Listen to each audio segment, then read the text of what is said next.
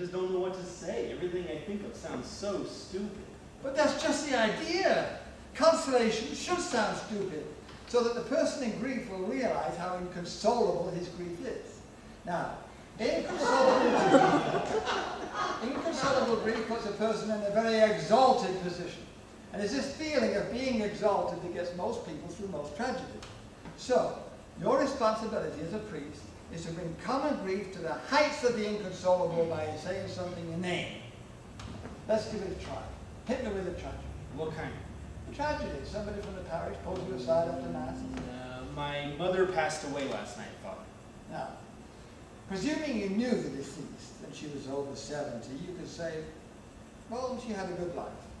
On the other hand, if she'd been ill, you'd say it was a merciful relief. Even I can think of something better than that. But you're not supposed to. You keep it simple and stupid. This is one area where stupid is smart. Give you another tragedy. hurry, hurry, just pick one out of the pool of human experience and lay it on her. My baby died in his crib last night. That's awful. That's what you'd say? What does that make you think of a thing like that? Well, you said it Oh, you really get into it.